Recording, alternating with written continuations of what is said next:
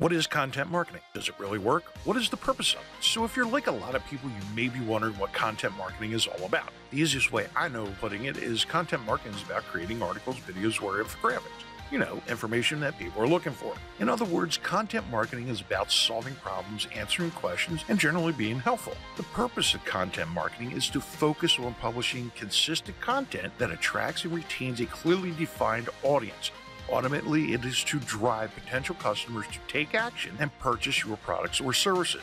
Almost all the big names in business use content marketing, as well as a growing number of small businesses. Why? Because it just works. It's a win win situation because it's good for the consumer and it's good for your bottom line and it creates a better customer with more loyalty to your brand. My name is Charles, CEO of CE Snyder Marketing LLC, and this has been another episode of One Minute Marketing Tips. One minute, one tip, one thing you can do today to improve your marketing.